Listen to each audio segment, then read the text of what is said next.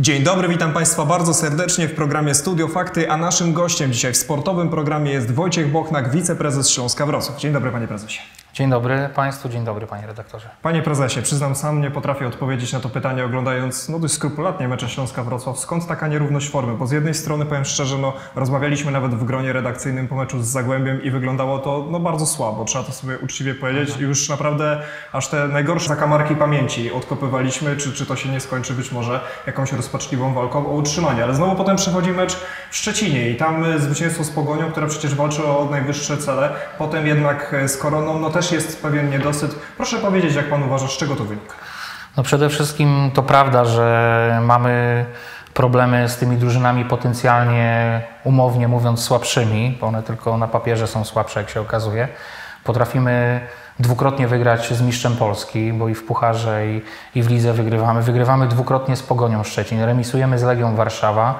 W zasadzie przegraliśmy z czołówki tylko z Rakowem. Wygrywamy w Płocku, który jest od wielu, wielu lat nie, nie był w stanie nikt go pokonać na ich stadionie. Po czym przegrywamy u siebie z Wartą, przegrywamy na wyjeździe z Koroną, teraz remisujemy z Koroną, przegrywamy z Zagłębiem. No mamy, tak jak ja to mówię, taka huśtawka nastrojów trochę. E, Pewnie wolelibyśmy jako kibice, żeby dobrze się zaprezentowali z tymi najsilniejszymi zespołami, a wygrywali z tymi, z tymi drużynami, z którymi potencjalnie cały czas walczymy o bezpieczny byt w ekstraklasie.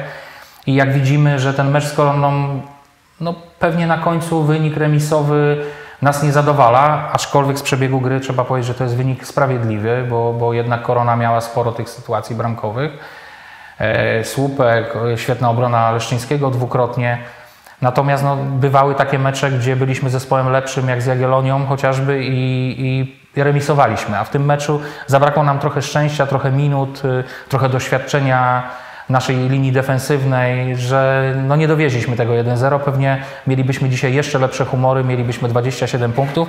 I jak znam życie, jak wszyscy w klubie, tak i kibice, patrzylibyśmy, ile mamy już punktów do Widzewa Łódź, który jest czwarty. A tak cały czas musimy patrzeć, ile przewagi mamy nad Zagłębiem, nad Piastem, nad tymi drużynami, które mm, będą walczyć o utrzymanie, a jak widzimy, no to są wielkie marki. Piast Gliwice to jest mistrz Polski jeszcze niedawno, walczy o utrzymanie, no więc y, jak widać y, czeka nas y, trudna, trudna walka o ligowe punkty i miejmy nadzieję, że będziemy gromadzić punkty nie tylko z tymi faworytami, ale będziemy również wygrywać z tymi drużynami, z którymi powinniśmy wygrywać, którzy, które są w naszym zasięgu sportowym, a coś nie wychodzi, tak jak z Zagłębiem popełniamy błędy i później tych błędów nie potrafimy nadrobić, jak ta pierwsza bramka, później Tak, ta pierwsza bramka e, nieuznana, nieuznana bramka, która pewnie drużynę podłamała, później jest 2-0, nie strzelamy karnego, no tych y, byśmy, bym powiedział, tych katastrof było sporo, ale na końcu niestety przegraliśmy 3-0, dobrze, że drużyna dobrze zareagowała.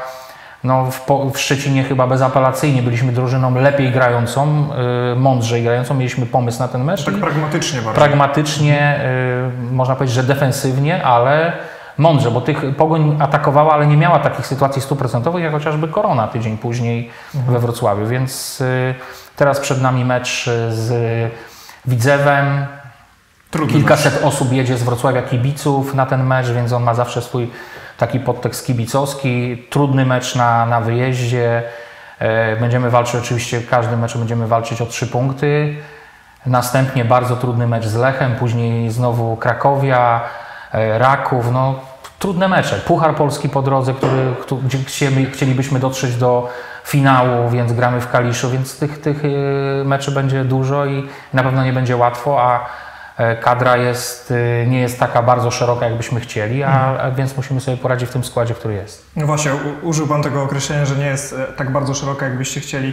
To chyba trochę trudne dla trenera Dżurżewicza, bo dziennikarze też ciągle go pytają o te ewentualne wzmocnienie, transfery. Wiemy, że jest transfer e, z GKS-u Katowice, to jest wymiana Tak, tak. e, piłkarzy, więc może na tym się teraz e, skupmy, a na moment jeszcze nawiążemy do tej sytuacji. No tak, to prawda, że y, trener sygnalizuje nam y, potrzeby, gdzie, na których pozycjach widziałby wzmocnienie, rywalizację przede wszystkim na tych pozycjach.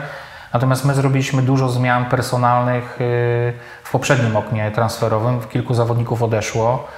Przyszli nowi zawodnicy, więc trener Dżurdziewicz, y, jak widać, dobrze tą drużynę skomponował w tym sensie, że z tego materiału ludzkiego, który mają, ja nie uważam, że on jest zły. To jest kwestia tutaj trenera, sztabu całego, żeby tą drużynę poukładać i widać, że potrafią to zrobić, bo wspominaliśmy o tych meczach, gdzie świetnie drużynę ustawili, potrafiliśmy wygrać z najlepszymi. Natomiast jeśli chodzi o y, Szwedzika, którego mm, wzięliśmy z GKS-u Katowice, to nie jest przypadek. Tego piłkarza oglądaliśmy jeszcze w poprzednich e, okienkach transferowych. Dyrektor sportowy Sztylka sygnalizował, że jest fajny, szybki, e, czy to skrzydłowy, czy napastnik, w zależności jak trener będzie chciał go ustawić. E, chłopak pochodzący z Dolnego Śląska, z Legnicy, więc jest szansa, że ten chłopak będzie chciał we Wrocławiu grać i nadarzyła się sytuacja taka, że GKS Katowice też poszukiwał napastnika. E, Sebastian Bergier e, miał kontrakt do czerwca, też potrzebował nowego impulsu. Trener też e, sygnalizował, że może to jest ten czas, żeby Sebastian spróbował czegoś innego. Czasami zawodnicy potrzebują przejścia do innego klubu, więc zgodziliśmy się na ten transfer wymienny. Sebastianowi życzymy powodzenia, bo to jest nasz wychowanek, świetny piłkarz. W grupach młodzieżowych zdobywał korony króla strzelców w drugiej lidze, również się świetnie sprawdzał tutaj w ekstraklasie. Jeszcze nie, nie, pewnie nie osiągnął tego, co by chciał, więc poprzez pierwszą ligę miejmy nadzieję, że Sebastian e, kiedyś wróci jeszcze do ekstra- ekstraklasy i tego mu życzę. Natomiast nowy zawodnik to jest nowe wyzwanie dla sztabu, żeby go dobrze przygotować, tak po to, żeby mógł rywalizować czy to na skrzydle, czy na pozycji numer 9.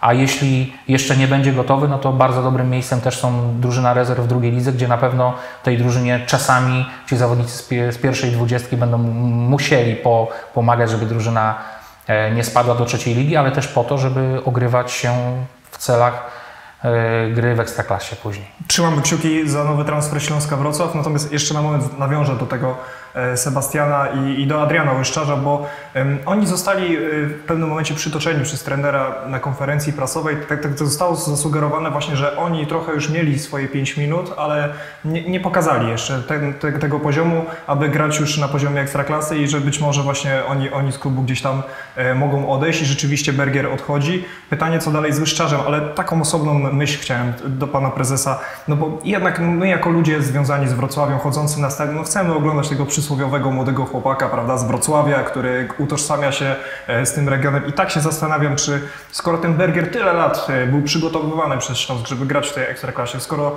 ten Łyszczarz, który też wydaje się być na wylocie, tak my z dziennikarsko spekulujemy, e, czy oni naprawdę nie mogli dostać takiego swojego rzeczywistego 5 minut na tym boisku, oczywiście metaforycznego, czyli kilku meczów na przykład, że mogli nam pokazać swoje umiejętności. Oczywiście rozumiem presję ekstraklasy i tak dalej, ale porównałbym to do studiów, prawda? Kraje zapraszają do siebie na przykład, przyjedźcie do nas, mamy wioskę studencką, wszystko wam zapewnimy, ale chcemy, żebyście u nas pracowali w przyszłości. Trochę tak jest z tymi piłkarzami akademii. No bardzo byśmy chcieli oglądać takich piłkarzy związanych z Wrocławiem.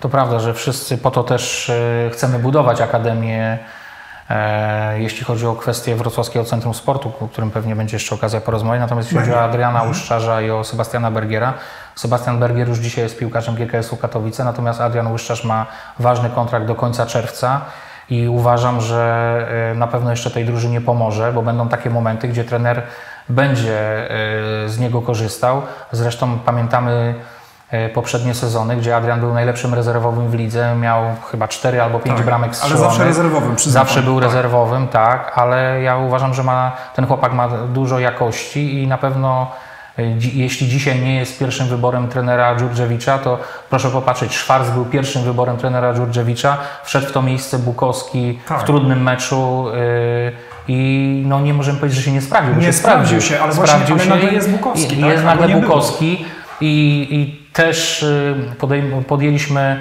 e, wspólnie z prezesem decyzję i z dyrektorem sportowym, że przedłużamy z nim kontrakt. Jest to Mhm. młodzieżowy reprezentant Polski.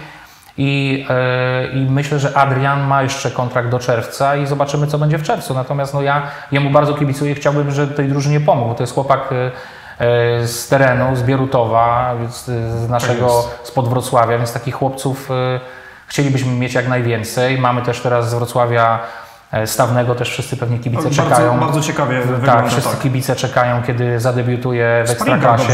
Tak, Mhm. wygląda, wyglądał dobrze, więc powoli musimy tych chłopców e, wprowadzać. Jest, został wprowadzony Bukowski. Pamiętamy, były mecze takie, że e, też e, nasz e, piłkarz e, Samiec Stalar grał od początku, później nagle zniknął przez chwilę, później wchodzi w meczu, strzela bramkę, Tak. wygrywamy mecz, więc Tak ci chłopcy są też potrzebni. Myślę, że Adrian jeszcze w tym sezonie taką szansę dostanie i myślę, że przyczyni się do tego, że drużyna zajmie jak najwyższe miejsce w lidze i też pamiętajmy, że mamy Puchar Polski, więc y, ta rotacja musi być. Gramy z Lechem, później gramy z Kaliszem, później mamy kolejny mecz.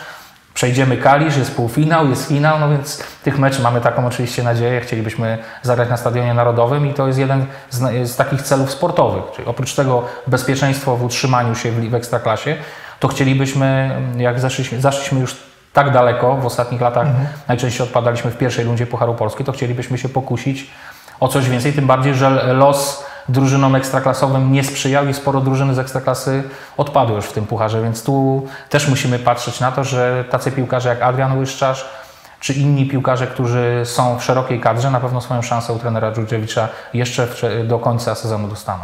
Panie prezesie, ileż razy to nazwisko Exposito było wymieniane przez różne, powiedziałbym, piłkarskie, plotkarskie portale i przez wielu dziennikarzy odmieniane przez wszystkie przypadki, no bo to jest gorący kąsek piłkarski. Proszę powiedzieć, czy jest coś na rzeczy? E, To znaczy tak, cały czas e, do klubu spływają zapytania. No, Taki piłkarz e, o takich parametrach fizycznych, czyli wysoki, silny napastnik, dobrze grający głową, dobrze broniący, lewa noga, no takie, tacy zawodnicy są na rynku poszukiwani. Takie zapytania również teraz mieliśmy w tym oknie transferowym, ale też Śląsk Wrocław ma swoje określone warunki, na których chciałby tego zawodnika sprzedać. Ja też przypominam, że ten zawodnik e, razem z Izraelem Puerto, jak przychodzili, to byli to zawodnicy wolni. Oni przyszli do Wrocławia za darmo, ale tutaj też e, podnieśli swoje e, umiejętności, bo trenował ich trener Lawiczka, później trener Magiera, teraz trener Dżurdżewicz, więc to są zawodnicy, którzy też w tym klubie się wyszkolili, więc e, też chcemy za, nich, za niego wziąć jakieś określone dobre pieniądze. To jest jeden z elementów strategii klubu. Byliśmy domówieni, to jest prawda, dogadani, można tak powiedzieć, z Rakowem Częstochowa i to, był, to prawda, że to, był, to miała być też transakcja taka wiązana, określona kwota, którą, która nas zadowalała, plus zawodnik, y, miał przejść zawodnik, y, również napastnik y, na wymianę. Czy możemy z- potwierdzić, że to był Musioli? Tak, tak, tak. To, to, to był Musiolik, czyli na, na takiej zasadzie chcieliśmy się dogadać z Rakowem i, i konkretna dobra kwota pieniężna dla klubu. Y, My dogadaliśmy się, no ale y, na końcu pozostaje umowa y, o, o pracę pomiędzy zawodnikiem a Rakowem Częstochowo i tutaj nie doszło do porozumienia i dlatego Erik jest z nami. Na, na chwilę obecną wydaje się, że zostało już kilka dni tylko do zamknięcia okna transferowego. Na dzień dzisiejszy nie mamy e, żadnych zapytań, więc e, chyba, że czasami zdarzają się w ostatniej chwili, aczkolwiek no my tak w ostatniej chwili też się obawiamy, bo, bo No tak. też musimy mieć coś w miejsce, ekspo, kogoś w miejsce Exposito, gdyby się okazało, że Erika sprzedajemy. Na chwilę obecną wydaje się, że Erik e, zostanie z nami co najmniej do czerwca i pomoże nam w zajęciu dobrego miejsca. Sam strzeli sporo bramek, a im strzeli więcej bramek, tym w przyszłości pewnie będzie go e, łatwiej i drożej sprzedać i klub na tym więcej zarobi. E, I miejmy nadzieję, że, że, że to się stanie, bo to jest e, jakby za, mm, można powiedzieć, za taką mm, no, opłacalne dla dwóch stron, i dla Erika, i dla nas, jako dla klubu. I chcielibyśmy, żeby Erik strzelił sporo tych bramek i drużyna na tym skorzystała, a on poszedł gdzieś dalej kiedyś w świat i, i klub na tym zarobił. No właśnie, myśli Pan, że chodziło o to, żeby pójść w świat, a niekoniecznie zostać w Ekstraklasie? Był Pan delikatnie zaskoczony, że jednak zawodnik nie porozumiał się z Rakowem? Wie pan co, no ciężko mi powiedzieć, bo też nie wiemy o jakich pieniądzach oni rozmawiali, Okej. bo to są sprawy już pomiędzy... Objęte tajemnicą. A tak, objęte Jasne, tajemnicą, jest to rozmowa pomiędzy agencją, Mhm. agentem piłkarza, więc tutaj nie wiem jakie rozbieżności były finansowe między nimi, bo to ciężko powiedzieć. Natomiast no yy, pewnie yy, też piękno tego miasta, urok tego miasta powoduje, że piłkarze też chcą w tym mieście tutaj być, bo to jest jednym z ważnych elementów, kiedy przekonujemy piłkarzy, kiedy przyjeżdżają tutaj, zabierają swoje małżonki czy partnerki, przejdą się wieczorem po rynku i mówią tak, tu chcemy, tu chcemy być, tutaj chcemy żyć i tutaj grać. I to jest ważne, i to jest jeden z ważnych elementów przekonujących piłkarzy, że chcą w tym mieście e, grać i mieszkać, żyć, e, no bo to jest jedno z najpiękniejszych miast e, w Polsce e, do życia, to chyba najlepsze w Polsce. Tak, ja nawet myślę, że jedno z najpiękniejszych w Europie. Ale tak. nie jestem obiektywny, bo od urodzenia mieszkam w tym mieście, więc tutaj muszą Państwo tak. mi wybaczyć za element subiektywizmu. Chciałem zapytać o Karola Borysa, bo to jest piłkarz, który, no powiem szczerze, że jak go widzę na boisku, to widzę, że on ma to coś, to przysłowiowe coś, prawda? Mhm. E, I też zastanawiamy się, czy jego przyszłość w Śląsku to będzie kwestia lat, miesięcy, tygodni, jak pan e, Panie redaktorze, ciężko powiedzieć, bo Karola Borysa pytają największe kluby w Europie. Już pytają, tak? Tak, pytają mhm. naj, największe kluby w Europie. Jest zainteresowanie z klubów y, z Premier League, było zainteresowanie, było, jest duże zainteresowanie klubów z Ligi Włoskiej. Mhm. Jednak Włosi y, penetrują bardzo mocno rynek polski. Tak, z Górnika zawsze e, wcześniej wzięli piłkarza. Też tak, tak. I tutaj też mamy, mamy zapytania z Włoch, jeśli chodzi o Karola Borysa, ale no, na pewno do czerwca będzie z nami. Mhm. E, I no to jest taka perełka, gdzie musimy dobrze za, zabezpieczyć interesy i piłkarza, i klubu, więc na pewno e, jeśli będzie już taka decyzja, że Karol odejdzie, żeby się rozwijać, to na pewno będzie też tak skonstruowana umowa, która będzie Śląskowi dawać w przyszłości też e, profi, profity, mhm. takie nazwijmy to, które buduje się takie umowy transferowe właśnie w taki sposób, że nawet jak klub nie zarabia od razu gigantycznych pieniędzy, to w przyszłości może to powodować stopniowo, że klub dodatkowe e, bonusy otrzymuje. Natomiast na, na dzień dzisiejszy jest zainteresowanie, ale e, Borys dostaje z nami do czerwca. A jest szansa, że dłużej? E, no to zobaczymy, to mhm. zobaczymy. No, w Śląsku Wrocław wszyscy piłkarze mają kontrakty i wszyscy piłkarze, jeśli się okazuje, że jest dobra oferta, to wszyscy są na sprzedaż. No, klub sportowy jest no, biznesem na końcu i my też musimy patrzeć na to, żeby na końcu y, zbudować nie tylko stronę wydatkową, ale przede wszystkim dochodową klubu, więc tutaj jeśli będzie dobra oferta, to i również y, Karol Borys będzie mógł odejść, ale na dzień dzisiejszy tak, takiej oferty konkretnej nie ma. Są zapytania, przyjeżdżają skauci, tej chwili myślę, że sporo skautów oglądało mecze reprezentacji Polski, gdzie on tak, e, występował. I też proszę pamiętać, nie tylko Borys, bo też był Kurowski z naszej akademii. To jest też bardzo mhm. ciekawy piłkarz, interesujący. Jak mamy, mamy Stawnego, mamy Kurowskiego, mamy Gersensteina. Jest sporo tych chłopców, którzy w drugiej lidze już grają i, i miejmy nadzieję, że to są ci chłopcy, którzy w przyszłości e, będą stanowić o sile Śląska. Jest Oskar Mielcarz, też bardzo młody bramkarz, który też w drugiej lidze broni, ma dobre geny, tato grał w ekstraklasie, więc y, jest sporo tych chłopców, którzy zaczynają już pukać do, do bram pierwszej drużyny, nawet jak ich nie widzimy na boisku e, w pierwszej jedenastce, to oni są na zapleczu, oni trenują z pierwszym zespołem i na pewno od takich doświadczonych piłkarzy jak Exposito czy Olsen e, na pewno mogą dużo się nauczyć. Bukowski czekał dwa lata na to, żeby, e, żeby wystąpić już tak, można mhm. powiedzieć, pełną gębą w, w meczu ekstraklasy i widać było, że czekał długo, ale no nie odstawał od kolegów. No nie odstawał, tak. zdecydowanie, ale to czasami też właśnie fajnie się przekonać, że ktoś jest na ławce, co też może wspomóc, szczególnie w... Kontuzje czasami by, tak. zmuszają do takich e, decyzji trenerów. Wiemy, że trenerzy bardzo często wolą stawiać na zawodników, którzy są pewni, sprawdzeni, doświadczeni, a taka sytuacja, jak się niestety zdarzyła Szwarcowi, otworzyła szansę innemu, czyli Bukowskiemu, I pewnie teraz się wyleczył Gretarson, ale Gretarson gdyby nie, nie, nie, wyleczył się, to pewnie już za chwilę grałby stawny. A, mhm. Ale ma swój czas, myślę, że zagra jeszcze. Panie prezesie, Śląsk tak mnie fascynuje, że mógłbym tych pytań pewnie zadać i kilkadziesiąt o te personalia, więc może już na moment od nich odejdę i, i przejdę do kolejnych pytań. To pytanie, które dla mnie jest bardzo ważne, bo ja pamiętam, y, jak w roku 2012 chodziłem na mecze Mistrza Polski i ta myśl we mnie pozostaje i zawsze, zawsze będę wspominał Śląsk przez chociażby pryzmat tych fantastycznych dni, ale też chciałbym kiedyś jeszcze mieć szansę pójść na czy Mistrza Polski, czy drużynę chociaż, która walczy regularnie o grę w europejskich pucharach. To jest moje marzenie. A czy to jest realne? To znaczy, no Panie redaktorze, no, pokazaliśmy w poprzednich y, czterech latach, y, różnie było. Poprzedni sezon bardzo zły sportowo, bo mhm. ledwie utrzymaliśmy się w lidze, natomiast wcześniejsze lata, czwarte miejsce, piąte miejsce, y, graliśmy w europejskich pucharach. Nikt nie może powiedzieć, że graliśmy tam słabo, bo przeszliśmy. No to nie ten mecz z Hapoelem był tylko. Tak, tak, no to, to był zły mecz z Hapoelem, ale jak, jak wiemy, no to nie jest słaba drużyna. Nie, ten Hapoel. Nie wiadomo, że to wszyscy patrzą Borussia Dortmund, Paris Saint-Germain, to są potężne marki, ale, ale są też takie marki, które y, są średnie, ale no, my z nimi nie wygrywamy.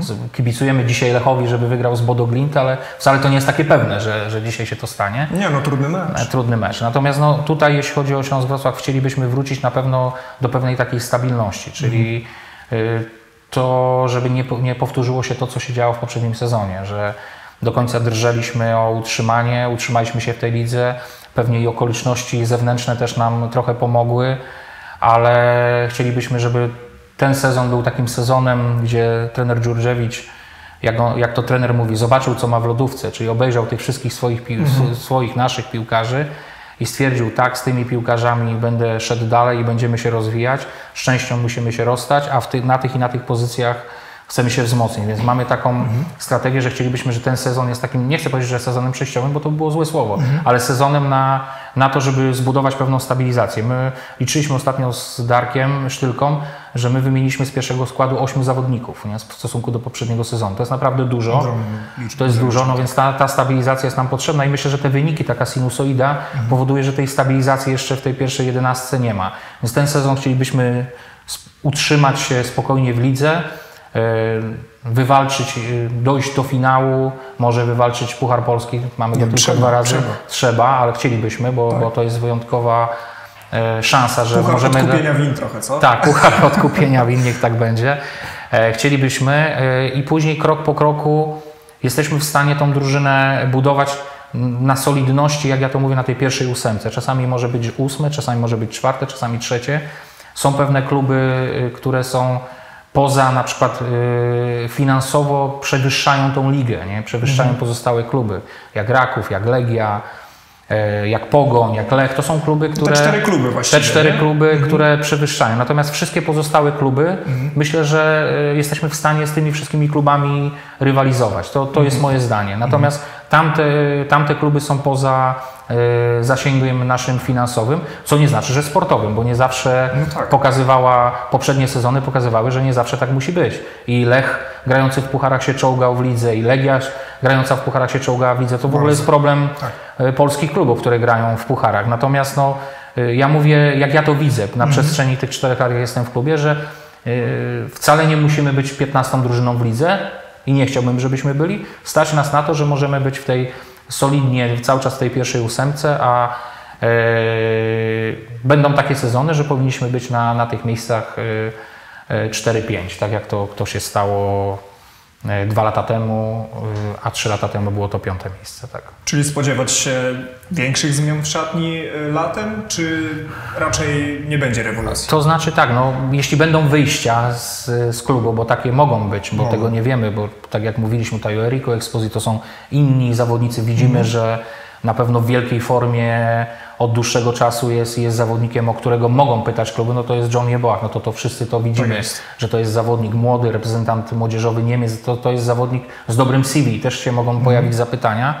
E, To jest normalne, natomiast no, wzmocnienia w czerwcu no, pewnie będą, no bo muszą być, bo to jest normalne, że części zawodnikom się kończą kontrakty, niektórzy zawodnicy będą wychodzić z klubu, e, więc y, wtedy na pewno będą zmiany, no to jest, to jest naturalne. Panie prezesie, macie sympatię do zawodników z Hiszpanii? Ja wiem, Eric Exposito naprawdę spełnił swoją rolę, Izrael Puerto też, ale no Wiktor Garcia, Kaje Quintana no w pewien sposób są poddawani wątpliwości. Lejwy bym jeszcze nie oceniał, ale widzę jakiś potencjał w tym piłkarzu. E, Z czego to wynika, że akurat ten kierunek jest dla Was atrakcyjny? To Kwestia znaczy tak, po pierwsze, po pierwsze to jest też kwestia pieniędzy, że zawodnicy e, hiszpańscy, e, znaczy jest bardzo dobre szkolenie w Hiszpanii, tych zawodników jest sporo na rynku.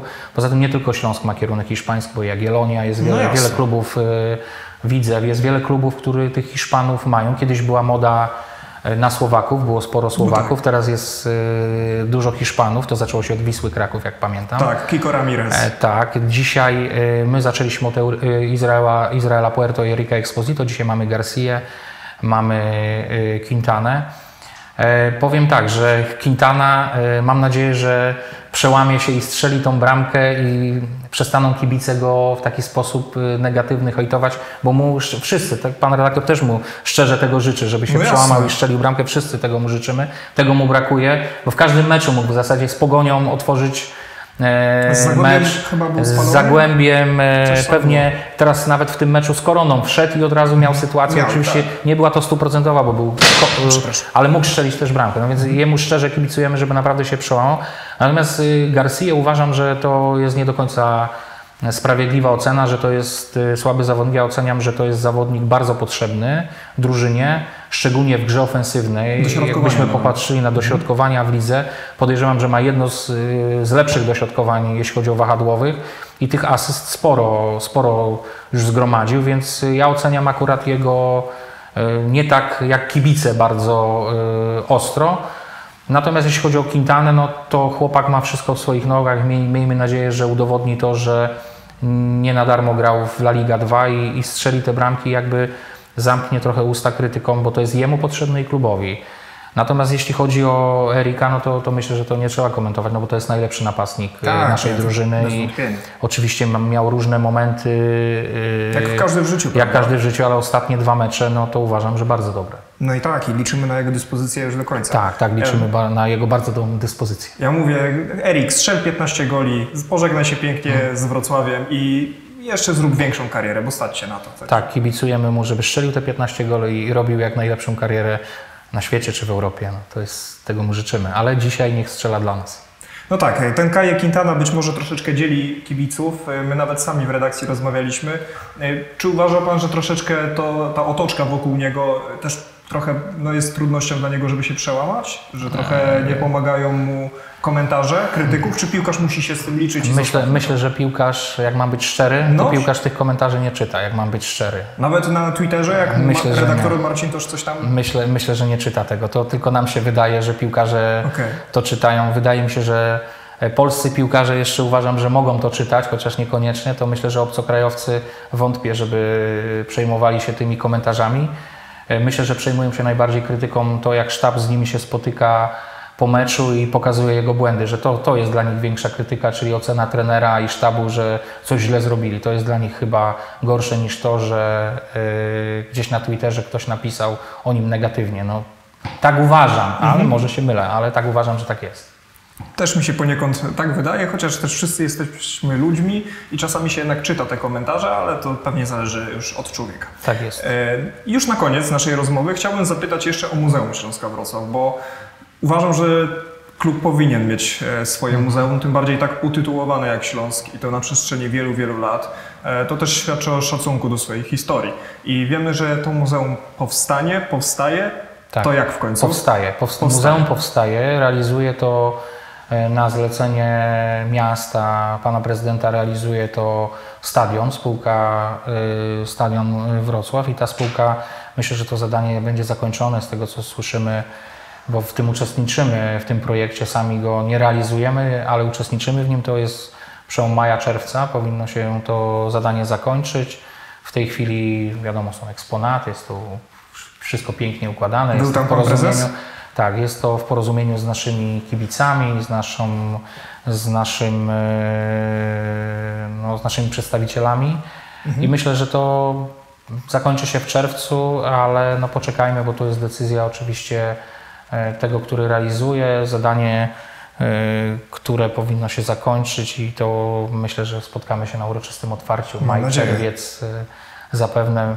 Myślę, że to jest świetna sprawa i tak jak tutaj miałem kilka telefonów na przykład od żon byłych piłkarzy, którzy niestety nie żyją i, i dzwoniły i mówiły Panie prezesie, mamy jakieś pamiątki i tak dalej, Mhm. więc na pewno takie sytuacje się pojawiały, no ale najwięcej pamiątek wiadomo, że ma, mają dwie osoby w klubie. Jeden to, jedna to jest szaman, czyli Wiem, Jarek fizjoterapeuta, Szandrocho, tak. fizjoterapeuta, a drugi to jest Przemek e, Piwowarski, czyli nasz e, SLO. No, to są osoby, które, które mm, można powiedzieć, że gromadzą te wszystkie pamiątki. E, Ja też kolekcjonuję generalnie koszulki, więc też tych koszulek trochę mam i Śląska, i no wiadomo innych, bo to jest moją pasją, ale też i mam mnóstwo biletów, też Śląska, różnych, różnych innych klubów, więc tutaj wszyscy będziemy to gromadzić, ale wiadomo, że najważniejsze są trofea, czyli to trofeum, o którym Pan mówił z 2012 roku, czyli ten puchar za Mistrzostwo Polski, bo on jest przechodni, więc taki puchar chcemy, żeby był zrobiony, też żeby Specjalnie. stał, stał w gablocie, również ten puchar z 77 roku, E, więc prace trwają i myślę, że to będzie e, jednym z ważnych elementów tożsamościowych klubu, ale też jednym z ważnych elementów wizytacji na stadionie. Mnóstwo widzimy, jak jesteśmy na stadionie, ile przyjeżdża młodzieży i osób, które odwiedza stadion i to będzie jeden z fajnych elementów, żeby odwiedzić e, e, muzeum, a na końcu wejść do sklepu Śląska Wrocław i kupić coś w No, sklepie trzeba, i zasilić, trzeba. zasilić konto klubu na końcu. To jest jeden z elementów e, Oczywiście. ważnym dla marketingowych, ale też ważnym dla budżetu klubu, czyli sprzedaż pamiątek i na pewno muzeum pomoże w tym również klubowi i myślę, że to jest e, wspaniała inicjatywa i dziękujemy tutaj miastu, że miasto się zdecydowało wydać środki na to i zrealizować to zadanie. To jest zupełnie naturalne, że kibice chodzą w koszulkach swoich idoli, więc jak najbardziej e, grać dobrze i zachęcać do kupowania koszulek, tak to działa w naturalnym piłkarskim biznesie Tak. na zachodzie Europy. Ale jedno pan prezes musi mi na koniec obiecać. Mianowicie, że zostawicie w tym muzeum osobną półkę na to, co dopiero zdobędziecie, bo mam nadzieję, że jeszcze wszystko przed nami. No ja mam też taką nadzieję, że to jeszcze nie koniec, że te trofea, jestem przekonany, Może że te, trofea, Polski. że te trofea będą. To byłby E, podobny czas, maj, e, otwarcie, prawda? Tak, tak, tak, tak. To no, mecz będzie na Stadionie Narodowym. Y, Pamiętajmy, że, nie, że, że e, to będzie mecz, miał być na Narodowym, ale może się okazać, Może że nie będzie na. Narodowym gdzie indziej. Może na Stadionie we Wrocławiu będzie, no więc Byłoby ciekawie. zobaczymy. Chociaż niesprawiedliwie E, trochę. Tak, trochę niesprawiedliwie, ale najpierw wygrajmy w Kaliszu, a później, Tak później dopiero myślmy o kolejnych y, meczach. Myślę, że Gablota będzie stała gotowa na kolejne trofea Śląska Wrocław, w to głęboko wierzę i wszyscy tutaj kibicujemy naszym piłkarzom i teraz i w przyszłości. Jestem przekonany, że to nie koniec y, trofeów Śląska Wrocław. Wszystko jeszcze przed nami. No to trzymam za słowo, też mam taką nadzieję i też głęboko w to wierzę. Właściwie dość długo już rozmawiamy, więc y, kończymy, choć tych pytań mógłbym jeszcze e, z pewnością kilka zadać. To umówimy się, mam nadzieję, jeszcze na spokojną rozmowę, być może w tym okresie majowym, kiedy i Puchar Polski, mam nadzieję, dla nas szczególnie wtedy ważny, bo jeszcze dalej będziemy w nim uczestniczyć i otwarcie. Myślę, że warto też porozmawiać o Wrocławskim Centrum Sportu, który, które się dzieje, bo nie wszyscy, nie wszyscy yy, widzą, natomiast dokumentacja idzie, pozwolenie na budowę idzie i jesteśmy na etapie yy, złożenia wniosku do Ministerstwa Sportu. Mamy przyrzeczone pieniądze, więc 50 milionów chyba. tak? No, kwoty mogą być wyższe. Nawet, Yy, tak, nawet to jest wszystko kwestia jeszcze decyzji Ministerstwa Sportu, ale myślę, że to będzie właśnie czas Mhm. porozmawiać jeszcze w maju na ten temat. Zawsze jest powód, żeby porozmawiać a na, za naszą dzisiejszą rozmowę, za to, że Państwo byli razem z nami. Bardzo serdecznie dziękuję, ale też dziękuję mojemu rozmówcy Wojciech Bochnak, wiceprezes Śląska Wrocław, gościem programu Studio Fakty. Dziękuję bardzo Państwu, dziękuję Panie redaktorze. Rozmowę poprowadził dla Państwa Dariusz Nowakowski. Teraz nasz wzrok kibiców będzie skierowany na Łódź. Tam Śląsk z Widzewem będzie rywalizował. To będzie trudny mecz. Widzew dobrze trzyma się w tym sezonie. Właściwie zajmuje takie miejsce, jak chcielibyśmy, żeby Śląsk zajmował. No to Czyli czwarte. Chociażby, prawda?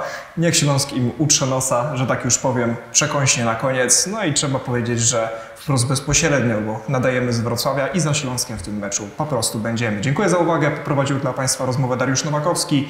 Jesteśmy z Wami. Do zobaczenia, do usłyszenia.